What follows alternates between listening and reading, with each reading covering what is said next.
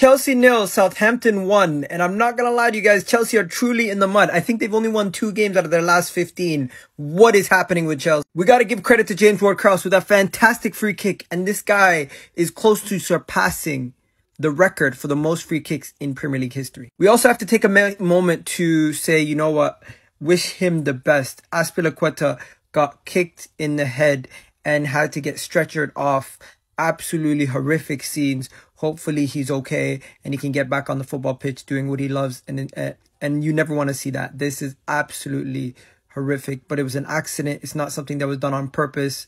So we also have to feel some sort of uh, pain for for uh, for both parties here because the player didn't want to kick him in the head and the guy was going for a header. It was fair play, but these things happen unfortunately. But yeah, Graham Potter's in trouble with a club that doesn't have patience. It's not looking good, fam. It's not looking good. What do you do, Chelsea fans? Let